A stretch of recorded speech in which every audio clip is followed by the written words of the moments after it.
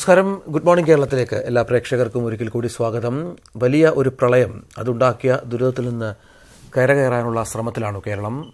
സംസ്ഥാനത്തിന് വിവിധ സ്ഥലങ്ങളിൽ നിന്ന് ഒരുപാട് സംഭാവനകൾ സഹായങ്ങൾ വരുന്നു. ഇനി അതിജീവനത്തിന്റെ നാളുകളാണ്. നമുക്കാദ്യം പ്രധാന തലക്കെട്ടുകൾ കാണാം. നമുക്ക് പ്രളയവുമായി ബന്ധപ്പെട്ട വാർത്തകളിലേക്ക് തന്നെ ആദ്യം പോകാം. കേരളം കരകയറും.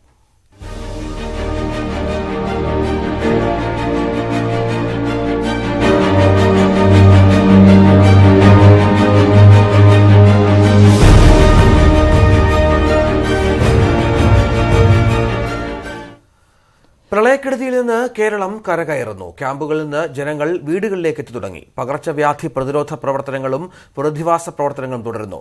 മഴയ്ക്ക് ശമനമായതോടെ താഴ്ന്ന പ്രദേശങ്ങളിലെ വെള്ളക്കെട്ടുകളും താഴ്ന്നു തുടങ്ങി. നാശനഷ്ടങ്ങൾ വിലയിരുത്താൻ തൃശൂർ ജില്ലയിൽ ഇന്ന് സർവകക്ഷി യോഗം ചേരും. തൃശൂർ ഗുരുവായൂർ റൂട്ടിൽ ഇന്ന് ഗതാഗതം പുനഃസ്ഥാപിക്കും. എറണാകുളത്ത് നിന്ന് ശരണും തൃശൂരിൽ നിന്ന് സുവി വിശ്വനാഥും ചേരുന്നു. ആദ്യം സുവിയിലേക്ക് പോയാൽ സുവി തൃശൂരിൽ പ്രത്യേകിച്ച് ചാലക്കുടി മാള അടക്കമുള്ള പ്രദേശങ്ങൾ കഴിഞ്ഞ കുറേ ദിവസങ്ങളായി വെള്ളക്കെട്ടിലായിരുന്നു ജനജീവിതം വലിയ ദുരിതത്തിലായിരുന്നു. എന്താണ് ഏറ്റവും പുതിയ വിവരം അവിടെ നിന്ന്?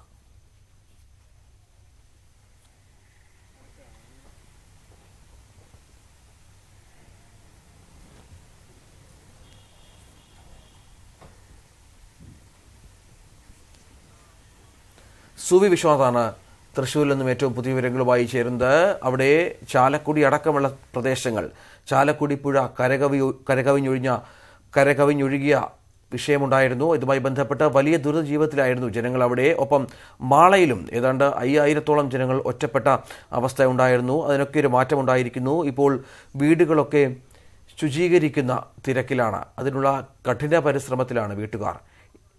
സുവി വിശ്വനാഥ് ചേരുന്നു. എന്താ ചോദ്യം?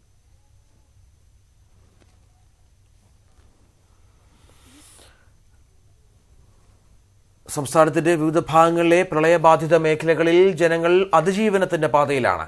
വീടുകൾ ശുചീകരിച്ച് ഒരു പുതിയ ജീവിതം തുടങ്ങാനുള്ള എല്ലാ ശ്രമങ്ങളിലും അവർക്ക് എല്ലായിടത്തു നിന്നും സഹായം ലഭിക്കേണ്ടതുണ്ട്. അവരുടെ കഠിന പരിശ്രമം ഇതുമായി ബന്ധപ്പെട്ട ആവശ്യമാണ്. ഏതായാലും ഇനിയുള്ള നാളുകൾ അതിനുള്ളതാണ്. ഞങ്ങളുടെ പ്രതിനിധികൾ വിവിധ സ്ഥലങ്ങളിൽ നിന്ന് ചേരുന്നു. ഏറ്റവും പുതിയ വിവരങ്ങളുമായി അല്പസമയത്തിന് തന്നെ സുവി വിശ്വനാഥും എസ് എസ് ശരണും ചേരും എന്ന് കരുതാം. സുവിയിലേക്ക് പോയാൽ സുവി കേൾക്കാമോ? പറയാം സുവി. എന്താണ് ഏറ്റവും പുതിയ സ്ഥിതി? അവിടുത്തെ തൃശൂർ ജില്ലയിലെ പ്രത്യേകിച്ച് ചാലക്കുടി മാള മേഖലകളൊക്കെ ഒറ്റപ്പെട്ടിരുന്നുവല്ലോ.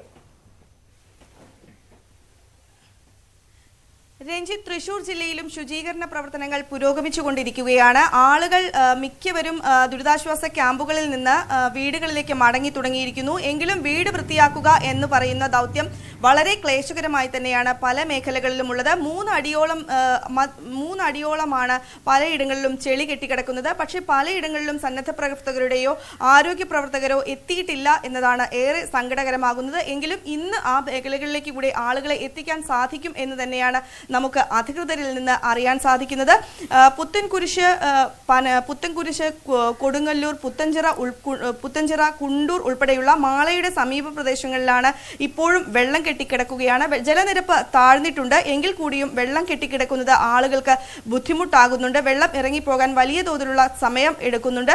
ഒപ്പം തന്നെ നഗരത്തിലെ പല ഭാഗങ്ങളിലും ഇത് തന്നെയാണ് അവസ്ഥ. ഇരിങ്ങാലക്കുട ഉൾപ്പെടെയുള്ള ഭാഗങ്ങളിലും ഇന്ന് ശുചീകരണ പ്രവർത്തനങ്ങൾ നടക്കും എന്നാണ് അറിയാൻ സാധിക്കുന്നത്. മറ്റ് ചാലക്കുടിയിൽ ചാലക്കുടിയിലും ശുചീകരണ പ്രവർത്തനങ്ങൾ നടക്കും. ഒപ്പം തന്നെ തൃശൂർ ജില്ല സാധാരണ നിലയിലേക്ക് വരികയാണ് എങ്കിൽ കൂടിയും മറ്റ് അവസ്ഥകളിലേക്ക് അതായത് ചാലക്കുടിയും മാളയും ഉൾപ്പെടെ ഏറ്റവും പ്രളയം ഏറ്റവും അധികം ദുഷ്ക നാശം വിതച്ച മേഖലകളെല്ലാം പൂർവസ്ഥിതിയിലേക്ക് എത്താൻ ഇനിയും ഏതാണ്ട് ഒരു മാസം കൂടെ എടുക്കാൻ എടുക്കും എന്നാണ് അറിയാൻ സാധിക്കുന്നത്. വ്യാപാരികൾ എല്ലാം തന്നെ വ്യാപാര സ്ഥാപനങ്ങളെല്ലാം തന്നെ ഇന്നലെ ഇന്ന് മുതൽ തുറന്നു പ്രവർത്തിക്കും എന്നാണ് നമുക്ക് അറിയാൻ സാധിച്ചത്. ഒപ്പം തന്നെ ജില്ലയിൽ ഇതുവരെ എഴുന്നൂറ്റി ക്യാമ്പുകളാണ് പ്രവർത്തിക്കുന്നത്. ഏതാനും ക്യാമ്പുകൾ ആളുകൾ മടങ്ങിപ്പോയതിനെ തുടർന്ന് നിർത്തിയിട്ടുണ്ട്. എഴുന്നൂറ്റി തൊണ്ണൂറ്റി നാല് ക്യാമ്പുകളായിരുന്നു ഇന്നലെ ഉണ്ടായിരുന്നത്. ഇന്നത് എഴുന്നൂറ്റി അൻപത്തിരണ്ട് ക്യാമ്പുകളായി കുറഞ്ഞിട്ടുണ്ട്. രണ്ട് ലക്ഷത്തി അൻപത്തിരണ്ടായിരത്തി അൻപത്തിരണ്ടായിരത്തിൽ പരം ആളുകളാണ് ഇപ്പോഴും ദുരിതാശ്വാസ ക്യാമ്പുകളിൽ കിടക്കുന്നത്. അവർ അവരും ഇന്ന് കുറെ പേർ കൂടെ വീടുകളിലേക്ക് മടങ്ങിപ്പോകും എന്നാണ് നമുക്ക് അധികൃതരിൽ നിന്ന് അറിയാൻ സാധിക്കുന്നത്. ഒപ്പം തന്നെ ഇന്ന് ബലിപ്പെരുന്നാൾ ആയതിനാൽ ഉദ്യോഗസ്ഥർ ഹാജരാകാതിരിക്കാനുള്ള ഒരു സാധ്യതയുണ്ട്. പക്ഷെ എല്ലാ ഉദ്യോഗസ്ഥരും തന്നെ ഓഫീസുകളിൽ എത്തണം എന്ന് ജില്ലാ കലക്ടർ അറിയിച്ചിട്ടുണ്ട്. റവന്യൂ സപ്ലൈകോ ഉൾപ്പെടെയുള്ള ഭാഗം എല്ലാ വകുപ്പുകളിലെയും ഉദ്യോഗസ്ഥർ എത്തണം എന്ന് അറിയിച്ചിട്ടുണ്ട്. ഈ അതായത് ഏതാണ്ട് അതായത് ബലിപ്പെരുന്നാൾ മതാചാര പ്രകാരമുള്ള ചടങ്ങുകൾ അനുഷ്ഠിക്കാത്ത അനുഷ്ഠിക്കാത്തവർ അനുഷ്ഠിക്കേണ്ടവർക്ക് മാത്രമാണ് ലീവ് അനുവദിച്ചിരിക്കുന്നത്. ബാക്കി എല്ലാവരും എത്തേണ്ടതുണ്ട്. ഒപ്പം തന്നെ സപ്ലൈകോ സബ് ഡിവിഷനുകൾ എല്ലാം തന്നെ ഇന്ന് തുറന്ന് പ്രവർത്തിക്കും.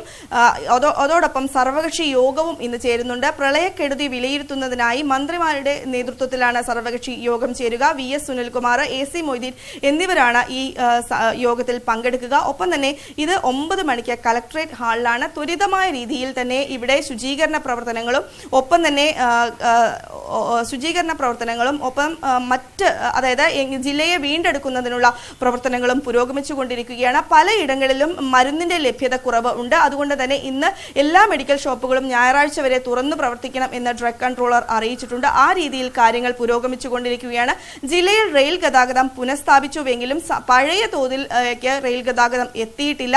അതിന് ഇനിയും ഒരാഴ്ച കൂടെ അതായത് എല്ലാ സർവീസുകളും പുനരാരംഭിക്കാൻ ഇനിയും ഒരാഴ്ച കൂടെ എടുക്കും എന്നാണ് അറിയാൻ സാധിക്കുന്നത്. കഴിഞ്ഞ ഏതാനും ദിവസങ്ങളിലായി തടസ്സപ്പെട്ടുകൊണ്ടിരുന്ന തൃശൂർ ഗുരുവായൂർ റെയിൽപാത ഇന്ന് പുന പുനഃസ്ഥാപിച്ചിട്ടുണ്ട്. ഇന്ന് ഇവിടെ ഗതാഗതം നടക്കും എന്നാണ് അറിയുന്നത്.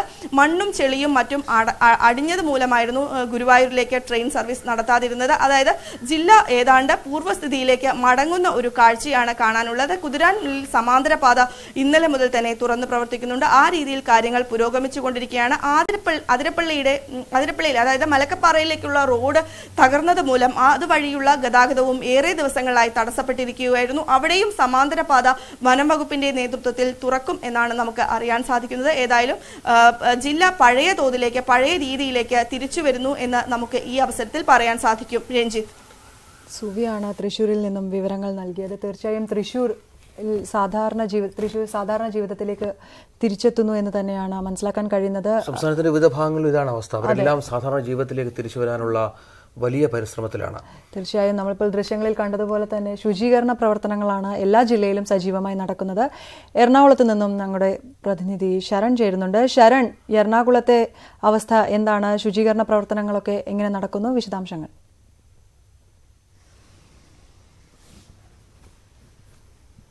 ആര്യ വലിയൊരു പ്രളയത്തെ അതിജീവിച്ച ശേഷം എറണാകുളം ജില്ല ഇപ്പോൾ കരകയറിക്കൊണ്ടിരിക്കുകയാണ്. കാരണം വിവിധയിടങ്ങളിലും നമുക്ക് കാണാൻ സാധിക്കും. ശുചീകരണ പ്രവർത്തനങ്ങൾ പുരോഗമിച്ചുകൊണ്ടിരിക്കുകയാണ്. കഴിഞ്ഞ ദിവസങ്ങളിലാണ് ശുചീകരണ പ്രവർത്തനങ്ങൾ ആരംഭിച്ചത്.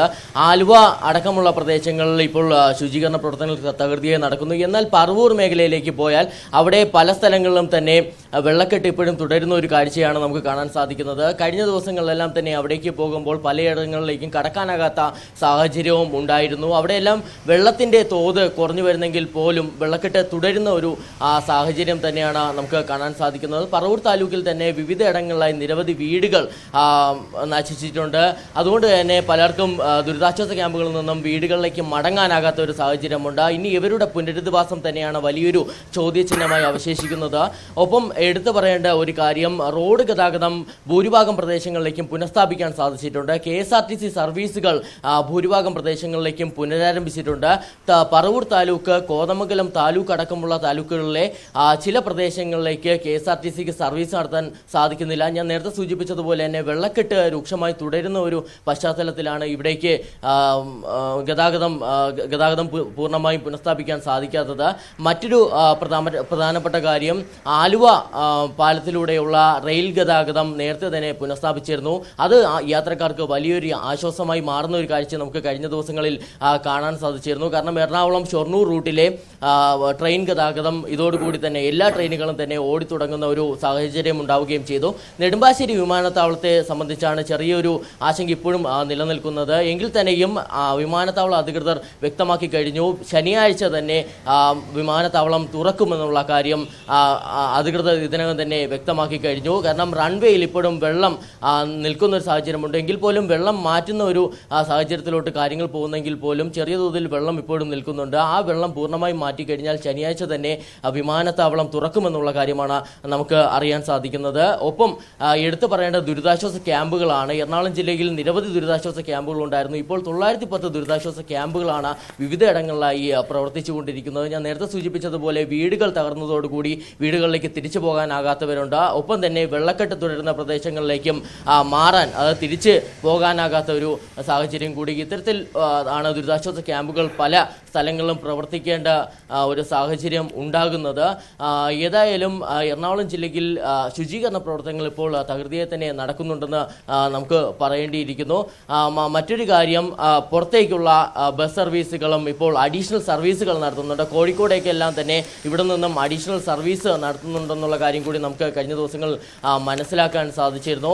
ഇത്തരത്തിലുള്ളൊരു പ്രവർത്തനം അല്ലെങ്കിൽ ഇത്തരത്തിൽ എന്നാൽ ദിവസങ്ങൾ എടുക്കുമെന്നുള്ള കാര്യമാണ് നമുക്ക് മനസ്സിലാക്കാൻ സാധിക്കുന്നത് നമുക്കറിയാം എറണാകുളത്തിന്റെ താഴ്ന്ന പ്രദേശങ്ങൾ എല്ലാം തന്നെ വെള്ളത്തിനടിയിലാകുന്ന ഒരു സാഹചര്യം നേരത്തെ ഉണ്ടായതുകൊണ്ട് തന്നെ ഇവിടെ നിന്നും വെള്ളക്കെട്ട് മാറുന്നെങ്കിൽ പോലും ദിവസങ്ങളെടുക്കും ഇവിടുത്തെ ജനജീവിതം സാധാരണ നിലയിലോട്ട് എത്താൻ. ദുരിതാശ്വാസ ക്യാമ്പുകൾ പിടിച്ചുവിടാൻ. എങ്കിൽ പോലും പല ദുരിതാശ്വാസ ക്യാമ്പുകളും ഇപ്പോൾ ഒരു മുൻകരുതലിന്റെ ഭാഗമായി അല്ലെങ്കിൽ വെള്ളം കയറിയതോടുകൂടി ഇവരെല്ലാം മാറ്റി താമസിപ്പിച്ച ദുരിതാശ്വാസ ക്യാമ്പുകളെല്ലാം തന്നെ ഇപ്പോൾ പിരിച്ചുവിടുന്ന ഒരു സാഹചര്യം കൂടി ഉണ്ടായിട്ടുണ്ട്. പലരെയും തന്നെ വീട്ടിലേക്ക് എത്തിക്കുന്ന ഒരു സാഹചര്യം ഉണ്ടായിട്ടുണ്ട്. എങ്കിൽ പോലും ഞാൻ പറഞ്ഞതുപോലെ പറവൂർ താലൂക്കിലെയും കോതമംഗലം താലൂക്കിലെയാണ് ഇപ്പോൾ ഏറ്റവും കൂടുതൽ പ്രതിസന്ധി നേരിടുന്നത്. ആലുവ താലൂക്കിൽ പൂർണമായി തന്നെ പ്രതിസന്ധി മാറിക്കഴിഞ്ഞു. പറവൂർ താലൂക്കിലെയും കോതമംഗലം താലൂക്കിലെയും ജനങ്ങളെ ദുരിതാശ്വാസ ക്യാമ്പിൽ ഏകദേശം ഭൂരിഭാഗം പ്രദേശങ്ങളിലെയും ജനങ്ങളെ ദുരിതാശ്വാസ ക്യാമ്പുകളിലേക്ക് മാറ്റുന്ന ഒരു സാഹചര്യം നേരത്തെ ഉടലെടുത്തിരുന്നു. അതുകൊണ്ട് തന്നെ ഇവരെ വെള്ളക്കെട്ട് മാറാതെ തിരിച്ച് വീടുകളിലെത്തിക്കാൻ കഴിയില്ല.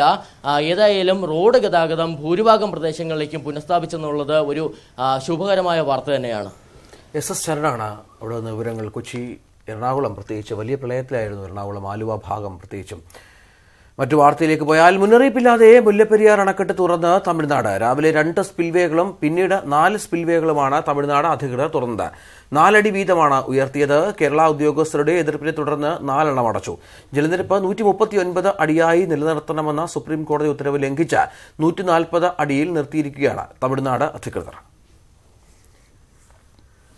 സി പി ഐ അടിയന്തര എക്സിക്യൂട്ടീവ് യോഗം ഈ മാസം ഇരുപത്തിയെട്ടിന്. മന്ത്രി കെ രാജുവിന്റെ വിവാദ ജർമ്മൻ യാത്ര യോഗം ചർച്ച ചെയ്യും. സംസ്ഥാനം പ്രളയക്കെടുതിയിലായിരിക്കുമ്പോൾ മന്ത്രി വിദേശയാത്ര നടത്തിയത് ശരിയായില്ലെന്നാണ് സി പി ഐ നിലപാട്. മന്ത്രി രാജിവെക്കണമെന്ന ആവശ്യം ഉയർന്നതിനിടെയാണ് അടിയന്തര എക്സിക്യൂട്ടീവ് യോഗം.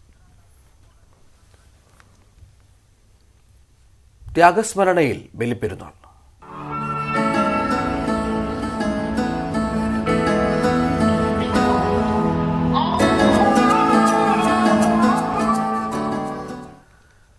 ത്യാഗത്തിന്റെയും സഹനത്തിന്റെയും സ്മരണ പുതുക്കി ഇന്ന് ബലിപെരുന്നാൾ. പ്രളയത്തിന്റെ പശ്ചാത്തലത്തിൽ കേരളത്തിൽ ആഘോഷങ്ങൾ ഉണ്ടാവില്ല.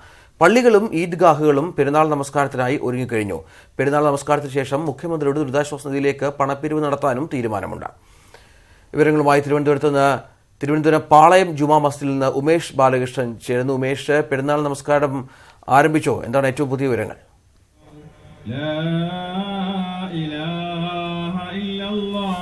ഏഴ് മുപ്പതോടു കൂടി തിരുവനന്തപുരം പാളയം ചന്ദ്രശേഖരൻ നായർ സ്റ്റേഡിയത്തെ പെരുന്നാൾ ഈദ്ഗാഹ് ആരംഭിക്കും. പെരുന്നാൾ നമസ്കാരം പാളയം പള്ളിയിൽ ആരംഭിച്ചിട്ടുണ്ട്. പ്രവാചകന്റെ ത്യാഗത്തിന്റെ സ്മരണയിൽ ഇന്ന് വിശ്വാസികൾ ഈദ് ആഘോഷിക്കുക ഈദ് ആചരിക്കുകയാണ്.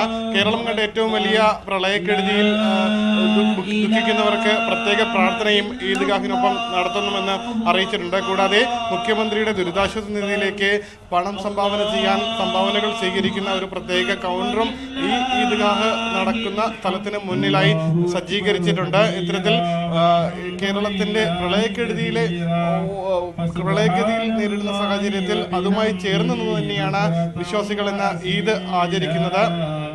ഏഴരയോടുകൂടി ഈദ് ഗാഹ് ആരംഭിക്കും അദ്ദേഹം പ്രാർത്ഥനകൾക്ക് ശേഷം അദ്ദേഹം ഈദ് സന്ദേശം നൽകും. പാളയം ഇമാം സുഹൈബ് മൗലബിയാണ് ഈദ് സന്ദേശം ചന്ദ്രശേഖരൻ നായർ സ്റ്റേഡിയത്തിൽ നൽകുന്നത്. തിരുവനന്തപുരത്ത് മറ്റു പല സ്ഥലങ്ങളിലും ഈദ്ഗാഹുകൾ നടക്കുന്നുണ്ട്. പുത്തരിക്കണ്ടം മൈതാനം ഭീമാപള്ളി അടക്കമുള്ള സ്ഥലങ്ങളിൽ ഈദ്ഗാഹ് ഗാഹ് നടക്കുന്നുണ്ട്. ചന്ദ്രശേഖരൻ നായർ സ്റ്റേഡിയത്തിൽ മന്ത്രി കെ ടി ജലീൽ അടക്കമുള്ളവർ ഇന്ന് ഈദ്ഗാഹിൽ പങ്കെടുക്കാൻ എത്തിയിട്ടുണ്ട്. രഞ്ജിത്ത്. സംസ്ഥാനത്തിന്റെ വിവിധ മേഖലകളിൽ ഈദ് നമസ്കാര ചടങ്ങുകൾ പള്ളികളും ഈദ് ഗാഹുകളും കേന്ദ്രീകരിച്ച് ഈദ് നമസ്കാരവും ആം, ഈദ് ഗാഹുകളും സംഘടിപ്പിച്ചിട്ടുണ്ട്. ഏഴരയോടുകൂടി പാളയം ജുമാ മസ്ജിദിൽ ഈദ് ഗാഹിൽ പെരുന്നാൾ നമസ്കാര ചടങ്ങുകൾ ആരംഭിക്കുമെന്നാണ് ഉമേഷ് റിപ്പോർട്ട് ചെയ്യുന്നത്. ഇതിനുശേഷം പ്രളയക്കെടുതിയിൽ കെടുതി അനുഭവിക്കുന്ന മലയാളികൾക്കുള്ള ദുരിതാശ്വാസവുമായി ബന്ധപ്പെട്ട കാര്യങ്ങളും അവിടെ ഉണ്ടാകും. മുഖ്യമന്ത്രിയുടെ ദുരിതാശ്വാസ നിധിയിലേക്ക് സാമ്പത്തിക സഹായം ഉൾപ്പെടെ ആഹ്വാനം ചെയ്തിട്ടുണ്ട് അവിടെ. നമുക്ക് മറ്റു വാർത്തകളിലേക്ക് പോയാൽ.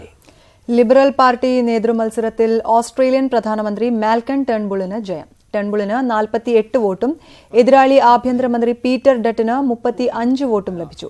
പരാജയപ്പെട്ടതിനെ തുടർന്ന് മന്ത്രിസഭയിൽ നിന്ന് രാജിവെച്ച ഡട്ടിനു പകരം സ്കോട്ട് മോറിസിനെ നിയമിക്കും. ഡെപ്യൂട്ടി നേതാവായി വിദേശകാര്യമന്ത്രി ജൂലി ബിഷപ്പ് തുടരും. താൽക്കാലികമായി പ്രതിസന്ധി ഒഴിവായെങ്കിലും ടേൺബുള്ളിനെതിരെ ഡ്യൂട്ടന്റെ അനുയായികൾ കലാപക്കൊടി ഉയർത്താനാണ് സാധ്യത. ആഭ്യന്തര സാങ്കേതിക വിദ്യയിൽ ഇറാൻ നിർമ്മിച്ച യുദ്ധവിമാനം പ്രസിഡന്റ് ഹസൻ റുഹാനി പുറത്തിറക്കി. മൾട്ടിപർപ്പസ് റഡാർ ഘടിപ്പിച്ച കൌസർ യുദ്ധവിമാനമാണ് ഇറാൻ പുറത്തിറക്കിയത്. നിലവിലുള്ള മിസൈലുകൾ അപ്ഗ്രേഡ് ചെയ്യുമെന്നും പ്രതിരോധ മന്ത്രി വ്യക്തമാക്കി. റുഹാനി വിമാനത്തിന്റെ കോക്പിറ്റിൽ ഇരിക്കുന്ന ദൃശ്യവും ഇറാൻ പുറത്തുവിട്ടു. യു എസുമായുള്ള വാണിജ്യ യുദ്ധം നേരിടാൻ ചൈന കറൻസിയിൽ കൃത്രിമം കാണിക്കുന്നുവെന്ന് ട്രംപ്. ചൈനീസ് കറൻസിയായ യുവാന്റെ മൂല്യം മനഃപൂർവം കുറച്ചുകാട്ടി. യു എസിലേക്കുള്ള കയറ്റുമതിയിൽ കൂടുതൽ ലാഭം നേടാനാണ് ചൈന ശ്രമിക്കുന്നത്. ചൈനയെ കൂടാതെ യൂറോപ്യൻ യൂണിയനും കൃത്രിമം കാട്ടുന്നുണ്ട്. ചൈനയുമായി അടുത്ത ആഴ്ച വാഷിംഗ്ടണിൽ നടക്കുന്ന ചർച്ചയിൽ കാര്യമായ പുരോഗതി ഉണ്ടാകുമെന്ന് പ്രതീക്ഷിക്കുന്നില്ല. പ്രശ്നം പരിഹരിക്കുന്നതിന് കൂടുതൽ സമയമെടുക്കുമെന്നും ട്രംപ് പറഞ്ഞു.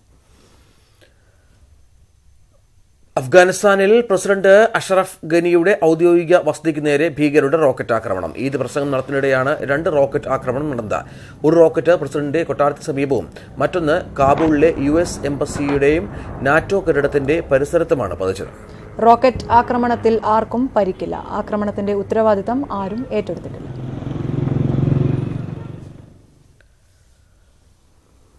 ഗുഡ് മോർണിംഗ് കേരളം തുടരുന്നു പ്രളയക്കെടുതിക്കിടെ വിവരം കൈമാറാൻ കഴിയാതെ ബുദ്ധിമുട്ടുന്ന രക്ഷാപ്രവർത്തകരെ സഹായിക്കാൻ news eighteen mobile phone power ബാങ്കുകൾ കൈമാറി. ആലപ്പുഴ ജില്ലയിലെ രക്ഷാപ്രവർത്തകർക്കാണ് മുന്നൂറ്റി അൻപത് പവർ ബാങ്കുകൾ സബ് കളക്ടർ കൃഷ്ണ തേജയെ ഏൽപ്പിച്ചത്. കളക്ടറിൽ രക്ഷാപ്രവർത്തനം ഏകോപിപ്പിക്കുന്ന കൺട്രോൾ റൂം ഉദ്യോഗസ്ഥർക്ക് സബ് കളക്ടർ പവർ ബാങ്കുകൾ വിതരണം ചെയ്തു. ഷൗമി സൗജന്യമായി നൽകിയ പവർ ബാങ്കുകളാണ് ന്യൂസ് എയ്റ്റീൻ കൈമാറിയത്.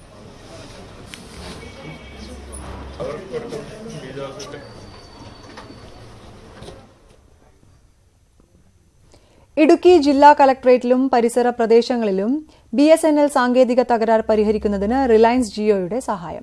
നൂറ് M B P S band with Jio B S N എല്ലിന് നൽകും. ഒരു മാസത്തേക്കാണ് ഈ ആനുകൂല്യം. ഉരുൾപൊട്ടലിനെ തുടർന്ന് ഈ മേഖലയിലെ വാർത്താവിനിമയ ബന്ധത്തിൽ തടസ്സങ്ങൾ നേരിട്ടിരുന്നു. ഇത് കണക്കിലെടുത്താണ് തീരുമാനം. സംസ്ഥാനത്തെ പ്രളയക്കെടുതിയിൽ ദുഃഖമറിയിച്ച് റഷ്യ ദുരന്തത്തിൽ നിന്ന് വേഗത്തിൽ മുക്തമാകാൻ ഇന്ത്യയ്ക്ക് കഴി- കഴിയട്ടെയെന്ന് റഷ്യൻ പ്രസിഡന്റ് വ്ളാഡിമിർ പുടിൻ പറഞ്ഞു. പ്രധാനമന്ത്രിക്കും രാഷ്ട്രപതിക്കും അയച്ച കത്തിലാണ് പുടിൻ പിന്തുണ അറിയിച്ചത്. മഴക്കെടുതിയിൽ മുങ്ങിയ സ്വന്തം ഗ്രാമത്തിന് സാന്ത്വനവുമായി നടി മഞ്ജു വാര്യർ. മുന്നൂറ്റി അൻപതിലധികം ആളുകൾ കഴിയുന്ന ദുരിതാശ്വാസ ക്യാമ്പിലേക്കാണ് ലോറി നിറയെ അവശ്യ സാധനങ്ങളുമായി മഞ്ജു വാര്യർ എത്തിയത്. സ്വദേശമായ തൃശൂർ പുള്ളിലെത്തിയപ്പോൾ പരിചിത മുഖങ്ങൾ ഏറെയുണ്ടായിരുന്നു മഞ്ജുവിന്. പ്രായമായവരും കുട്ടികളുമടക്കം മുന്നൂറ്റി അൻപതിലധികം ആളുകളാണ് വെള്ളത്താൽ ചുറ്റപ്പെട്ട പുള്ളിലെ എ എൽ പി സ്കൂളിലെ ക്യാമ്പിൽ ഉണ്ടായിരുന്നത്. അവർക്ക് ആശ്വാസവും കരുത്തും പകരുന്നതായിരുന്നു മഞ്ജുവിന്റെ വാക്കുകൾ. നമ്മളെല്ലാവരും ഒരേ മനസ്സോടെ എന്താ പരസ്പര ഐക്യത്തോടെ പരസ്പര സ്നേഹത്തോടെ പരസ്പര ബഹുമാനത്തോടെ ഈ ഒരു കുറച്ച് ദിവസങ്ങൾ തള്ളി നീക്കിയാൽ മാത്രം മതി. നമുക്ക് വേണ്ട സഹായങ്ങളെല്ലാം ചെയ്തു തരാൻ നമ്മുടെ സർക്കാരുണ്ട്. എല്ലാം നോക്കി നടത്തി നമ്മളിലേക്ക് എത്തിച്ചു തരാൻ ജനപ്രതിനിധികളുണ്ട് മാധ്യമങ്ങളുണ്ട്.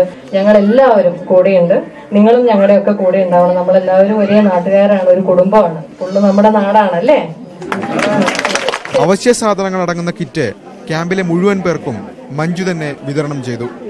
കഴിഞ്ഞ ഏതാനും ദിവസങ്ങളായി വിവിധ ദുരിതാശ്വാസ ക്യാമ്പുകൾ സന്ദർശിച്ചു വരികയാണ് മഞ്ജു വാര്യർ.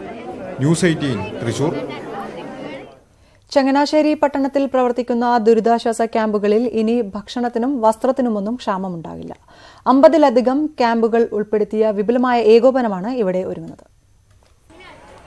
ചങ്ങനാശ്ശേരി നഗരസഭാ പരിധിയിൽ അൻപതിലധികം ദുരിതാശ്വാസ ക്യാമ്പുകളിലായി ഇരുപതിനായിരത്തിലധികം കുട്ടനാട് നിവാസികളാണ് കഴിയുന്നത്. ഭക്ഷണം കുടിവെള്ളം വസ്ത്രങ്ങൾ തുടങ്ങി വിപുലമായ ക്രമീകരണങ്ങളും ഏർപ്പെടുത്തിയിരിക്കുന്നു. ചങ്ങനാശ്ശേരി അതിരൂപത S N D P union N S S എന്നിവയും ദുരിതാശ്വാസ പ്രവർത്തന രംഗത്ത് സജീവമാണ്. ചിലയിടത്തു നിന്നും പരാതികൾ ഉയർന്ന സാഹചര്യത്തിലാണ് ക്യാമ്പുകളെ പരസ്പരം ബന്ധിപ്പിക്കുന്നതിന് തീരുമാനമായത്. ഇതനുസരിച്ച് ഏതെങ്കിലും സാമഗ്രികൾക്ക് ക്ഷാമമുണ്ടായാൽ കേന്ദ്രീകൃത സംവിധാനത്തിൽ നിന്നും ഉടൻ പരിഹാരമുണ്ടാവും. അവരുടെ ആ സിസ്റ്റമാറ്റിക്കായ പ്രവർത്തനം എല്ലാം ഭംഗിയായിട്ട് പോകുന്നു.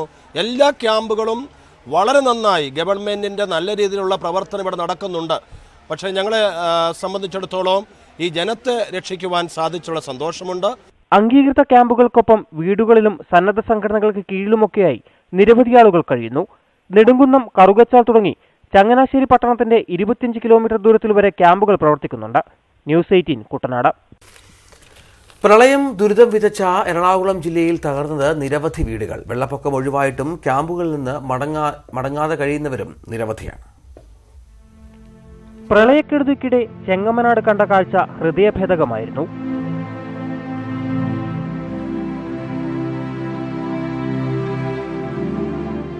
തകർന്ന വീടിന് മുന്നിൽ പകച്ചു നിൽക്കുന്ന അമ്മയും മകനും ദുരിതാശ്വാസ ക്യാമ്പിൽ നിന്നും തിരിച്ചെത്തിയവർക്ക് ജീവിതം തന്നെ ചോദ്യചിഹ്നമാണ്. വേറെ പോകാനൊന്നും ഒന്നുമില്ല. അതിലൊന്നും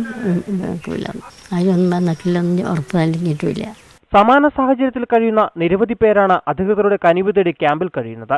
പലരും ജീവിതത്തിലെ മുഴുവൻ അധ്വാനവും കൊണ്ട് കെട്ടിപ്പൊക്കിയ വീടുകളാണ് നിമിഷങ്ങൾ കൊണ്ട് പ്രളയത്തിൽ മുങ്ങി നശിച്ചത്.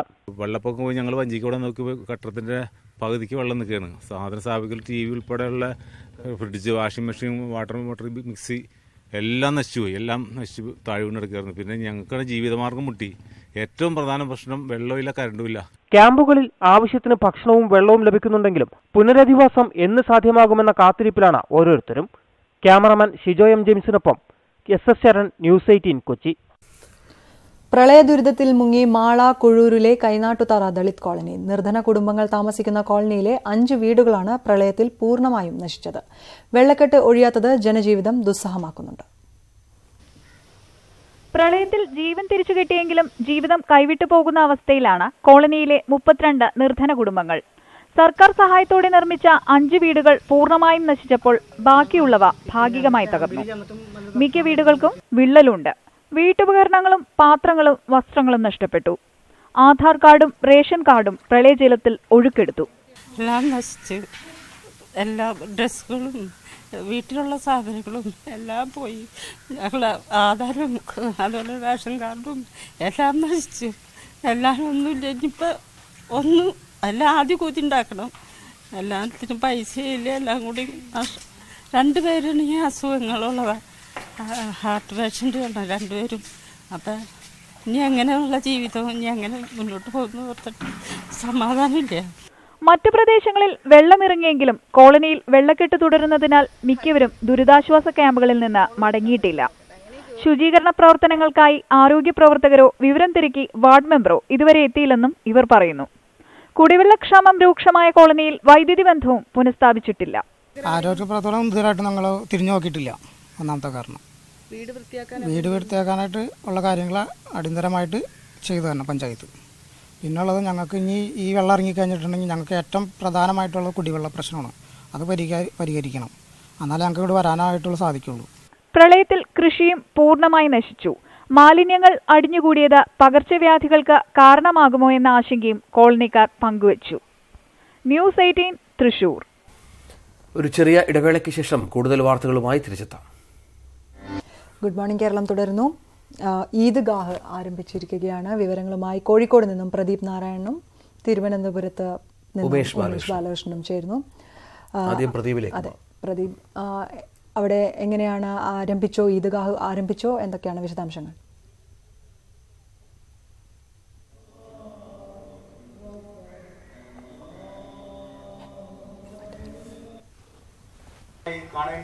സംസ്ഥാനത്തിന്റെ വിവിധ ഭാഗങ്ങളിൽ ഇന്ന് മുസ്ലിം മതവിശ്വാസികൾ ബലിപ്പെരുന്നാൾ ആഘോഷിക്കുകയാണ്. പ്രളയ ദുരിതത്തിന്റെ പശ്ചാത്തലത്തിൽ വലിയ ആഘോഷ പരിപാടികളൊന്നും സംഘടിപ്പിച്ചിട്ടില്ല. എങ്കിൽ പോലും പതിവ് പ്രാർത്ഥനകളുമായി വിശ്വാസികൾ മുന്നോട്ട് പോകുന്നുണ്ട്. ഈദ് ഗാഹുകളുണ്ട്. സൗദി അറേബ്യ അടക്കം വിവിധ ഗൾഫ് നാടുകളിൽ ഇന്നലെയായിരുന്നു ഈദ്ഗാഹ് കേരളം അനുഭവിക്കുന്ന പ്രളയ ദുരിതത്തിന്റെ പശ്ചാത്തലത്തിൽ ഇന്ന് പള്ളികളിലും ഈദ്ഗാഹുകളിലും പ്രാർത്ഥനയ്ക്കൊപ്പം ദുരിതാശ്വാസ പ്രവർത്തനങ്ങളും പ്രത്യേകിച്ചിട്ടുണ്ട്. പ്രദീപ് നാരായണൻ ചേരുന്നു ഒരിക്കൽ കൂടി. പ്രദീപ് ഈദ്ഗാഹ് ആരംഭിച്ചോ? പ്രാർത്ഥന ചടങ്ങുകളിലാണോ വിശ്വാസികൾ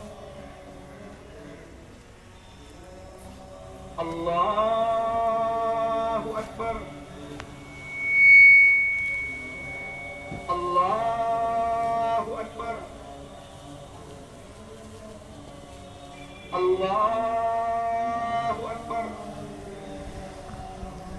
ഇബ്രാഹിം നബിയുടെയും ഇസ്മായിൽ നബിയുടെയും ത്യാഗസുലഭമായ ജീവിതത്തിന്റെ ഓർമ്മ പുതിക്കൊണ്ടാണ് ഇസ്ലാം മതവിശ്വാസികൾ ഇന്ന് ബലിപെരുന്നാൾ ആഘോഷിക്കുന്നത്. എല്ലായിടത്തും സാധാരണഗതിയിൽ ഈദ്ഗാഹുകൾ തുറന്ന ഈദ്ഗാഹുകൾ സംഘടിപ്പിക്കാറുണ്ടെങ്കിലും കാലാവസ്ഥ പ്രതികൂലമായതുകൊണ്ടാണ് ഇന്ന് പലയിടങ്ങളിലും ഈദ്ഗാഹുകൾ തുറന്ന ഈദ്ഗാഹുകൾ നടക്കുന്നില്ല. പലയിടത്തും പള്ളികൾക്കകത്താണ് ഈ ദൃശ്യങ്ങൾ കാണുന്ന പോലെ ഇൻഡോറായിട്ടാണ് ഇന്ന് ഈദ്ഗാഹുകൾ പലയിടത്തും സംഘടിപ്പിച്ചിട്ടുള്ളത്. വിശ്വാസികൾ ഈദ്ഗാഹുകൾ പങ്കെടുക്കാൻ എത്തിക്കൊണ്ടിരിക്കുന്നേ ഉള്ളൂ ഏഴരയ്ക്ക് ശേഷമായിരിക്കും കുത്തുബ ഉൾപ്പെടെയുള്ള കാര്യങ്ങൾ നടക്കുക. എന്തായാലും ഈ പ്രളയകാലത്ത് നടക്കുന്ന ഒരു ബലിപെരുന്നാളാണ്. അതുകൊണ്ട് തന്നെ വലിയ തരത്തിലുള്ള ഒരു ആഘോഷങ്ങളൊക്കെ തന്നെയും മാറ്റിവെച്ചുകൊണ്ടാണ് മലബാർ മേഖലയിൽ ഇസ്ലാം മത വിശ്വാസികൾ ഈ ബലിപെരുന്നാൾ ദിനത്തെ വരവേൽക്കുന്നത്. ഒരുപക്ഷെ ഈ പ്രളയത്തിൽ അഭിമുഖീകരിക്കുന്ന പ്രളയത്തെ നേരിടുന്ന ദുരന്തബാധിതരായ എല്ലാ കുടുംബങ്ങൾക്ക് വേണ്ടിയുള്ള പ്രത്യേക പ്രാർത്ഥനകൾ കൂടി ഇന്ന് നടക്കും. സാധാരണഗതിയിൽ കോഴിക്കോട് ബീച്ച് ഉൾപ്പെടെയുള്ള സ്ഥലങ്ങളിലാണ് വലിയ ഈദ്ഗാഹുകൾ സംഘടിപ്പിക്കാറ്. എന്നാൽ ഇത്തവണ അതൊക്കെയും മാറ്റിവെക്കുകയാണ് എന്ന് നേരത്തെ തന്നെ അറിയിച്ചിട്ടുണ്ട്. ഞാനിപ്പോൾ ഉള്ളത് വെള്ളിമാട് കുന്ന് ജെ ഡി ടി ഇസ്ലാം പള്ളി അങ്കണത്തിലാണ്. ഇവിടെയാണ് പ്രധാനമായും ഇന്ന് ഇന്നത്തെ ഈദ്ഗാഹ് സംഘടിപ്പിച്ചിട്ടുള്ളത്.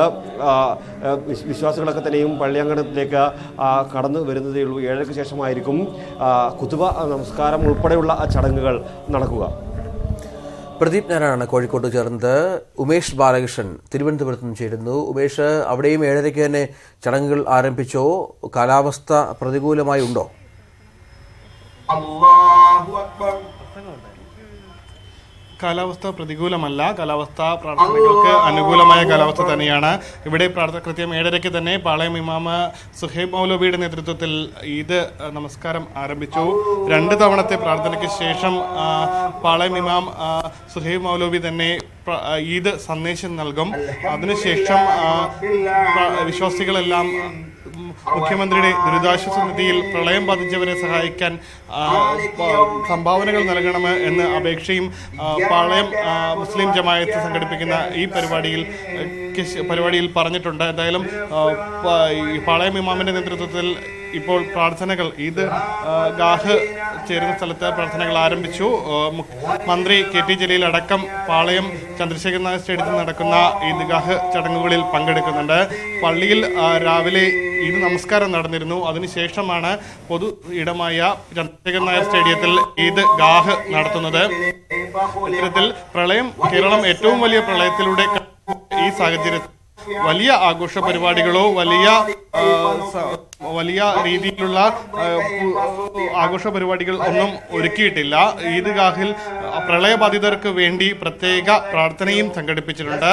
അത് ഈദ്ഗാഹിന് ശേഷം അദ്ദേഹം തന്റെ പാളയം ഇമാം നേതൃത്വം നൽകുന്ന പാളയം ഇമാം അദ്ദേഹം ഈദ് സന്ദേശം നൽകും. അതിനുശേഷമായിരിക്കും പ്രത്യേക പ്രാർത്ഥന നടത്തുക. രഞ്ജിത്ത്. തിരുവനന്തപുരത്ത് നിന്നും ഉമേഷ് ബാലകൃഷ്ണനാണ് വിവരങ്ങൾ നൽകിയത്. സംസ്ഥാനത്ത് വിവിധയിടങ്ങളിൽ ഈദ്ഗാഹ് വളരെ ലളിതമായി തന്നെയാണ് നടക്കുന്നത്. പ്രളയക്കെടുതിയിൽ പ്രളയക്കെടുതി പശ്ചാത്തലത്തിൽ തന്നെ ഈദ്ഗാഹുകൾ വലിയ ആഘോഷ പരിപാടികൾ ഒഴിവാക്കി ആ സമയം കൂടി ദുരിതാശ്വാസ പ്രവർത്തനങ്ങളിൽ ഏർപ്പെടാൻ ഇന്നലെ ആഹ്വാനമുണ്ടായിരുന്നു. അത്തരത്തിലാണ് കാര്യങ്ങൾ പുരോഗമിക്കുന്നത്. നമുക്കിനിയും എറണാകുളം ജില്ലയിലെ ദുരിതാശ്വാസ പ്രവർത്തനങ്ങളിലേക്ക് പോയാൽ അവിടെ ദുരിതാശ്വാസ ക്യാമ്പുകളിൽ നിന്നും പലരും വീടുകളിലേക്ക് മടങ്ങി തുടങ്ങി. നാശാവസ്ഥയിലായ വീടുകളുടെ സ്ഥിതി കണ്ട് കരളുരുകി ചിലർ ക്യാമ്പുകളിലേക്ക് തന്നെ മടങ്ങുകയും ചെയ്യുന്നുണ്ട്. വീടെന്ന സ്വപ്നത്തിനു മീതിയാണ് പ്രളയജലം പാഞ്ഞത്. അപ്രതീക്ഷിതമായി വീട് വിട്ട് ഇറങ്ങിയപ്പോൾ ഒന്നുമില്ലാതെ വന്നു കയറിയത് ദുരിതാശ്വാസ ക്യാമ്പുകളിലാണ്. ഇപ്പോൾ വെള്ളമിറങ്ങിയപ്പോൾ പലരും തിരികെ പോകാനുള്ള ഒരുക്കത്തിലാണ്. മുന്നൂറ്റി പതിനേഴ് ക്യാമ്പുകൾ ജില്ലയിൽ അടച്ചു. ഇവിടെ നിന്ന് ഒരു ലക്ഷത്തി പതിമൂവായിരത്തി എഴുന്നൂറ്റി പതിനൊന്ന് ആളുകൾ തിരിച്ചുപോയി കഴിഞ്ഞു. കൊച്ചി നഗരത്തിന് സമീപ പ്രദേശങ്ങളിലുള്ളവരാണ് തിരിച്ചു പോകുന്നവരിൽ അധികവും. ടോട്ടൽ അഞ്ഞൂറോളം ആളുകളുണ്ടായിരുന്നു. അതിൽ നിന്ന് നമുക്ക് ഏതാണ്ട് നൂറ്റി തൊണ്ണൂറോളം ആളുകൾ ഇപ്പോൾ തിരിച്ചു പോയി കഴിഞ്ഞു. പക്ഷേ എന്നാലും അവർ തിരിച്ചു വരുന്നുണ്ട് മിക്കവാറും. കുറച്ച് പേരൊക്കെ അവിടെ ചെന്നിട്ട് ക്ലീനിങ്ങും എല്ലാം കഴിഞ്ഞിട്ട് അവർക്ക് അവിടെ നിൽക്കാൻ പറ്റാത്ത സാഹചര്യം മൂലം തിരിച്ചു വരുന്നുണ്ട് ക്യാമ്പിലേക്ക്. തിരികെ വീട്ടിലെത്തി വീടിന്റെ അവസ്ഥ കണ്ട് മനം നൊന്ത് ചിലർ ക്യാമ്പിലേക്ക് തന്നെ എത്തി. എങ്കിലും വൈകാതെ പോകാൻ കഴിയുമെന്നാണ് പ്രതീക്ഷ. കണ്ടമാനം ചെളിയാണ് വീട്ടിൽ അടിഞ്ഞു കൂടിയേക്കണത് പരിസരം ഒന്ന് വൃത്തിയാകാണ്ട് നമുക്ക് ഒരിക്കലും പോകാൻ പറ്റില്ല. വീട്ടിലേക്ക് അതൊന്ന് ക്ലീൻ ചെയ്ത് പൈപ്പ് വെള്ളവും കറണ്ടും വന്നു കഴിഞ്ഞാൽ ഇന്നലെ രണ്ട് ദിവസം രണ്ടോ മൂന്ന് ദിവസമെങ്കിലും വെയിൽ കണ്ടിൽ ഒന്നും ഉണങ്ങി പറമ്പൊന്നും ഉണങ്ങിയില്ലെങ്കിൽ അണുക്കൾ എഴുന്നൂറ്റി പതിനാറ് ക്യാമ്പുകളാണ് ജില്ലയിൽ ഇനി അവശേഷിക്കുന്നത്. തിരിച്ചു പോകുന്നവർക്കായി വീട് വൃത്തിയാക്കാനുള്ള സാമഗ്രികളും പല ക്യാമ്പുകളും നൽകുന്നുണ്ട്. വീട് വൃത്തിയാക്കാൻ സന്നദ്ധ പ്രവർത്തകർ എത്തുന്നതും ആശ്വാസമാവുകയാണ്. News eighteen Kochi. തൃശൂർ ജില്ലയിൽ ഏറ്റവും ഒടുവിൽ ദുരിതാശ്വാസ സഹായങ്ങൾ എത്തിയ ഇടമാണ് മനക്കൊടി പുള്ള. കോൾ നിലങ്ങളാൽ ചുറ്റപ്പെട്ട ഈ ദ്വീപിന്റെ മുക്കാൽ ഭാഗവും വെള്ളത്തിലാണ്. പുള്ളു ഗ്രാമത്തിലേക്ക് ഞങ്ങളുടെ പ്രതിനിധി സുർജിത് അയ്യപ്പത് നടത്തിയ യാത്ര. ഒരു സന്നദ്ധ സംഘടനയുടെ ടോറസ് വാഹനത്തിൽ ഏറിയാണ്. പുള്ള് എന്ന് പറയുന്ന വെള്ളത്താൽ ചുറ്റപ്പെട്ട ഗ്രാമത്തിലേക്ക് ഞങ്ങൾ യാത്ര ചെയ്യുന്നത്.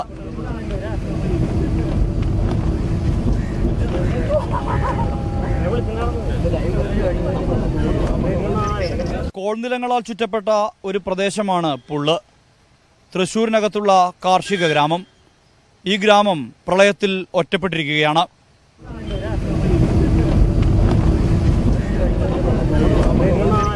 തികച്ചും ഒറ്റപ്പെട്ട് കിടക്കുന്ന ഒരു ഗ്രാമമാണ് പുള്ള്. അതുകൊണ്ട് തന്നെ ദുരിതാശ്വാസ ക്യാമ്പിലേക്കുള്ള സാധനങ്ങളൊന്നും അവിടെ എത്തുന്നില്ല. ഈ എത്ര പേര് അവിടെ ഉണ്ട്? നാനൂറ്റി അമ്പത്തിനാല് പേരാണ് ഇപ്പോൾ പുള്ള് എൽ പി സ്കൂളിലും വെള്ളം കയറാത്ത ഇരുപത്തെട്ട് വീടുകളിലുമായി താമസിക്കുന്നത്. മുന്നൂറ്റി പത്ത് വീടുകളാണ് പുള്ളിലാകെ ഉള്ളത്. മുന്നൂറ്റി പത്ത് വീടുകളിൽ ഇരുപത്തെട്ട് വീടൊഴികെ ബാക്കി എല്ലാ വീടുകളും പൂർണമായി വെള്ളത്തിനടിയിലാണ്.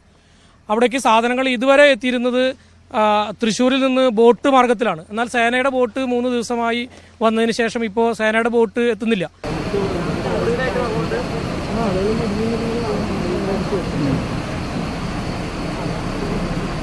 വെള്ളക്കെട്ട് പിന്നിട്ട് ഞങ്ങൾ പുള്ളിലേക്ക് യാത്ര തുടരുകയാണ്.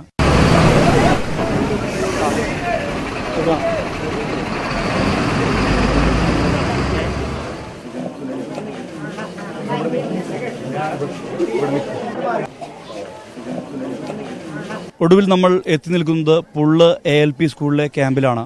നാനൂറോളം പേരാണ് ഈ ക്യാമ്പിൽ ഉള്ളത്. ഞങ്ങൾ പ്രതീക്ഷിക്കാത്ത അത്ര വലിയൊരു ദുരന്തമാണ് ഇപ്പോൾ ഞങ്ങൾക്ക് സംഭവിച്ചത്. ഒരു എന്ന് പറയാം ഉടുതുണി ഉടുതുണി അല്ലാതെ വേറെ ഒന്നും ഞങ്ങൾക്ക് വീടുകളിൽ നിന്ന് കിട്ടിയിട്ടില്ല. വീടൊക്കെ പകുതിയും ഇടിഞ്ഞു പൊളിഞ്ഞു പോയ അവസ്ഥയാന്ന് ഇപ്പോൾ പറയുന്നത് വീടുകൾ ചെന്ന് നോക്കാൻ പോലും ഞങ്ങൾക്ക് പറ്റിയിട്ടില്ല ഇതുവരെ. ഞങ്ങൾ എല്ലാവരും വെക്കുന്നത് എല്ലാവരും ചൊരുമ പോലെ കഴിച്ച് അതിൽ പങ്കെടുത്ത് ഞങ്ങൾ കൊണ്ട് പോണു. പിന്നെ ഞങ്ങൾക്ക് ഇതുപോലെ വെള്ളം വരില്ല എന്ന് വെച്ചിട്ട് ഞങ്ങൾ നിന്നു. അങ്ങോട്ടുള്ള ജീവിതം വളരെ ബുദ്ധിമുട്ടാണ്. കാരണം വെച്ചാൽ ഇപ്പോഴും വെള്ളം വീട് വെള്ളത്തിൽ മുങ്ങി കിടക്കുകയാണ് അപ്പോൾ നേരെയൊക്കെ എടുക്കേണ്ട കാര്യങ്ങളുണ്ട്. അപ്പോൾ അത് ശരിയാക്കിയിട്ട് വേണം. വീട്ടിൽ പോകാൻ തന്നെ ഒരാഴ്ചയോളം ഇനിയും പിടിക്കും. ആ മുന്നോട്ട് കൂടെ പോക്കെന്ന് പറഞ്ഞാൽ വീട് പോയാൽ എന്താ ചെയ്യുക അത് എല്ലാവരും കൂടി സഹകരിച്ചൊക്കെ ചെയ്തു കൊടുക്കണം ക്യാമ്പിൽ സന്തോഷമാണ്. കുഴപ്പമൊന്നുമില്ല.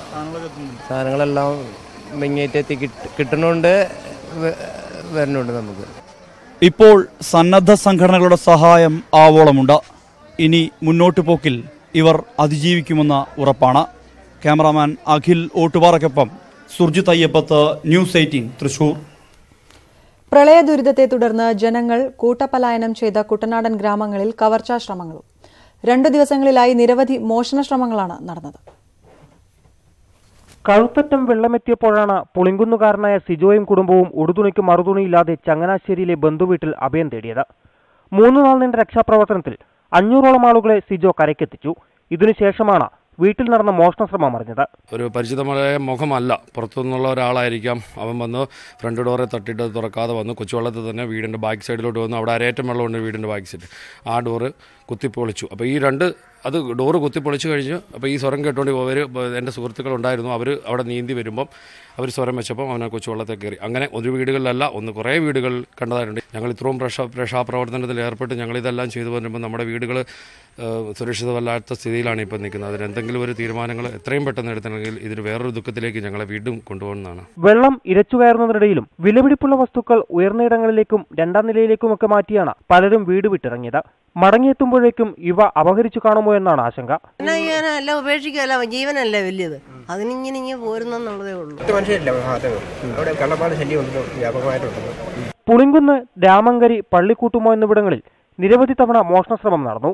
ബോട്ടുകളോ മറ്റു യാത്രാ സൗകര്യങ്ങളോ ഇല്ലാത്തതിനാൽ വീട്ടുസാമഗ്രികൾ അപഹരിക്കപ്പെട്ടോ എന്നറിയാൻ പറ്റാത്ത സാഹചര്യമാണ്. നാട്ടുകാരുടെ പരാതിയെ തുടർന്ന് ചില വീടുകൾ പോലീസ് മുദ്ര വച്ച് സൂക്ഷിച്ചിട്ടുണ്ട്. News eighteen Kuttanad. Thrissur Annamanada ഗ്രാമപഞ്ചായത്ത് ഓഫീസിലെ ഫയലുകൾ നശിച്ചു. ഇരച്ചെത്തിയ പ്രളയജലത്തിൽ ഓഫീസ് കെട്ടിടത്തിന്റെ ഒന്നാം നില പൂർണമായും വെള്ളത്തിൽ മുങ്ങിയിരുന്നു. പഞ്ചായത്തിലെ ദൈനംദിന ഉപയോഗത്തിനു വേണ്ട രേഖകളാണ് പ്രളയത്തിൽ നശിച്ചത്. ചാലക്കുടിപ്പുഴ കരകവിഞ്ഞതിനെ തുടർന്ന് ഓഗസ്റ്റ് പതിനഞ്ചിന് രാത്രിയിൽ അന്നമനട പ്രദേശമാകെ വെള്ളത്തിനടിയിലായി. അഞ്ചു ദിവസം ഗ്രാമപഞ്ചായത്ത് ഓഫീസ് കെട്ടിടവും സമീപ പ്രദേശങ്ങളും വെള്ളത്തിൽ മുങ്ങി. വെള്ളമിറങ്ങിയതിനെ തുടർന്ന് ഓഫീസിലെത്തിയ ജീവനക്കാരെ പൂർണമായും നശിച്ച ഫയലുകൾ ശരിക്കും ദുരിതത്തിലാക്കി. കഴിഞ്ഞ മൂന്ന് വർഷത്തെ ഓഡിറ്റ് ചെയ്യാത്ത ഫയലുകളും നശിച്ചവയിൽപ്പെടും. പഞ്ചായത്തിലെ സാമൂഹ്യക്ഷേമ പെൻഷൻ അപേക്ഷകൾ രജിസ്റ്ററുകൾ ജനനമരണ വിവാഹ രജിസ്ട്രേഷൻ രേഖകൾ ജനകീയാസൂത്രണം സംബന്ധിച്ച ഫയലുകൾ ഗ്രാമസഭാ മിനിറ്റ്സ് എന്നിവ പ്രളയത്തിൽ നശിച്ചു. പഞ്ചായത്ത് ഓഫീസിൽ ദൈനംദിന ആവശ്യത്തിനുള്ള ജനങ്ങൾക്ക് ആവശ്യമായിട്ടുള്ള എല്ലാ ഫയലുകളും തന്നെ നഷ്ടമായിട്ടുണ്ട്. ഓഡിറ്റ് കഴിയാത്ത ഫയലുകൾ ഉൾപ്പെടെ വിലപ്പെട്ട പല രേഖകളും റെക്കോർഡുകളും നഷ്ടമായതിൽ ഉൾപ്പെടുന്നു. രേഖകൾക്ക് പുറമെ server computer photostat machine generator എന്നിവയും നശിച്ചു. നാശനഷ്ടം എത്രയാണെന്ന് വിലയിരുത്തിയിട്ടില്ല. നഷ്ടങ്ങൾ കണക്ക് രേഖപ്പെടുത്തി പഞ്ചായത്ത് ഡയറക്ടർക്ക് ഒരാഴ്ചയ്ക്കകം റിപ്പോർട്ട് നൽകും. പതിനെട്ട് വാർഡുകളുള്ള പഞ്ചായത്തിൽ ആകെ മുപ്പത്തി ആറായിരം ആളുകളാണുള്ളത്. പ്രളയക്കെടുതിയിൽ മുങ്ങിയ അന്നമനടയിലെ നിരവധി പേരുടെ റേഷൻ കാർഡുകളും ആധാർ കാർഡ് അടക്കമുള്ള വിലപ്പെട്ട രേഖകളും നഷ്ടപ്പെട്ട സാഹചര്യത്തിൽ പഞ്ചായത്തിൽ നിന്നുള്ള രേഖകൾ കൂടി നഷ്ടപ്പെട്ടത് ഗുരുതരമായ പ്രതിസന്ധിയാണ് സൃഷ്ടിച്ചിരിക്കുന്നത്. News eighteen Thrissur. പ്രളയത്തിൽ വിവിധ തുരുത്തുകളിൽ അകപ്പെട്ടു പോയവരെ രക്ഷപ്പെടുത്തിയ മത്സ്യത്തൊഴിലാളികളെ എറണാകുളത്ത് ജില്ലാ ഭരണകൂടം അഭിനന്ദിച്ചു. രക്ഷാപ്രവർത്തനം മറ്റുള്ളവരെ സഹായിക്കാൻ കിട്ടിയ അവസരമാണെന്നും അതിന് പാരിതോഷികം ആഗ്രഹിക്കുന്നില്ലെന്നും മത്സ്യത്തൊഴിലാളി പ്രതിനിധികൾ അറിയിച്ചു. കിട്ടാവുന്ന സാധനങ്ങളൊക്കെ എടുത്ത് അവിടെ ബാഗിലായിട്ടാക്കിയിട്ട് എല്ലാവരും പോരാൻ സന്നദ്ധരായിട്ട് തന്നെ നിൽക്കണം അപ്പോൾ വെള്ളം കുത്തി വലിച്ചുകൊണ്ടിരിക്കുന്ന ഒരു സാഹചര്യമാണ്. ഞങ്ങൾ ചെന്ന ഉടനെ തന്നെ എല്ലാവരും ആവേശത്തോടെ വന്നു. അപ്പോൾ ഞങ്ങൾ പറഞ്ഞു പതിനഞ്ചോളം ആളുകൾ ഇരുപതോളം ആളുകൾ കൂടുതൽ കയറണ്ട. നിങ്ങൾ സുരക്ഷിത താവളത്തിലോട്ട് എത്തിക്കാനുള്ള എല്ലാ സംവിധാനം ഞങ്ങൾ ചെയ്തിട്ടുണ്ട്. വള്ളങ്ങൾ വരുന്നുണ്ട്. നിങ്ങളൊരു കാരണവശാലും പേടിക്കണ്ട. അപ്പോൾ കടലലകളെ വിജയിച്ച ഈ ചങ്കുറപ്പാണ് പ്രളയപ്രവാഹത്തിന്റെ കുത്തൊഴുക്കിനെ മറികടന്നത്. അല്ലായെങ്കിൽ നിമിഷാർത്ഥം കൊണ്ട് നമ്മുടെ നാട് അതിന്റെ ചരിത്രത്തിലെ തന്നെ സമാനതകളില്ലാത്ത ദുരന്തം ഏറ്റുവാങ്ങേണ്ടി വന്നേനെ. കളക്ട്രേറ്റിൽ ചേർന്ന അഭിനന്ദന യോഗത്തിൽ ഐ ജി വിജയ് സാക്കറയുടെ വാക്കുകളിലും ഇത് പ്രതിഫലിക്കുന്നു. സത്യം ഇതാണ്. മുഴുവൻ ബോട്ട്സ് നയന്റി പെർസെന്റ് ബോട്ട്സ് നമ്മുടെ ഫിഷർമാൻ ബോട്ട്സ് ആയിരുന്നു അവിടെ കൂടുതൽ റെസ്ക്യൂ ഓപ്പറേഷൻ നടത്തിയിട്ടുണ്ട്. അത് താങ്കൾ എല്ലാ അറിവുണ്ട് സഹായമുണ്ടായിരുന്നു അതുകൊണ്ട് നമുക്ക് എല്ലാവർക്കും രക്ഷിക്കാൻ പറ്റിയിട്ടുണ്ട്. രക്ഷാപ്രവർത്തനത്തിന് ഉപയോഗിച്ചവയിൽ തൊണ്ണൂറ് ശതമാനം ബോട്ടുകളും മത്സ്യത്തൊഴിലാളികളുടേതായിരുന്നു. ഹെലികോപ്റ്റർ ഉപയോഗിച്ച് രക്ഷപ്പെടുത്തിയതിന് അപേക്ഷിച്ച് പതിന്മടങ്ങ് ആളുകളെ ബോട്ട് മാർഗം രക്ഷിക്കാനും സാധിച്ചു. മറ്റു സേനകൾ രാത്രി വരെ മാത്രം സേവനം നടത്തിയപ്പോൾ കൊടും തണുപ്പും ഇരുട്ടും അവഗണിച്ച് ഓരോ ജീവനും കരക്കെത്തിക്കുന്ന തിരക്കിലായിരുന്നു ഇവർ. കളക്ട്രേറ്റിലെ യോഗത്തിൽ ജില്ലാ ഭരണകൂടം അഭിനന്ദനം കൊണ്ട് മൂടിയപ്പോൾ കേരളത്തെ വീണ്ടെടുത്തവരുടെ പ്രതികരണം ഇങ്ങനെയായിരുന്നു. മത്സ്യത്തൊഴിലാളിക്ക് ഒരു പാരിതോഷികവും വേണ്ട. ഇത് ഞങ്ങൾ ചെയ്തത് ഞങ്ങളുടെ സേവനമാണ്. ഞങ്ങളുടെ തീരത്തെ സംരക്ഷിക്കുക. ഈ തീര ജനത ഉണ്ടെങ്കിൽ കേരളത്തിന് എന്ത് സംഭവിച്ചാലും ആ തീര ജനത കേരളത്തിന്റെ ജനങ്ങളുടെ കൂടെ ഉണ്ടാകുമെന്ന് ഈ അവസരത്തിൽ കൂടി ഉറക്കെ ഞങ്ങൾ പ്രഖ്യാപിക്കുകയാണ്. ജില്ലാ കളക്ടർ മുഹമ്മദ് വൈ സഫീറുള്ളയുടെ അധ്യക്ഷതയിൽ ചേർന്ന യോഗത്തിൽ മത്സ്യത്തൊഴിലാളി സംഘടനാ നേതാക്കൾ വിവിധ വകുപ്പ് മേധാവികൾ പോലീസ് ഉദ്യോഗസ്ഥർ തുടങ്ങിയവരും പങ്കെടുത്തു. News eighteen Kochi.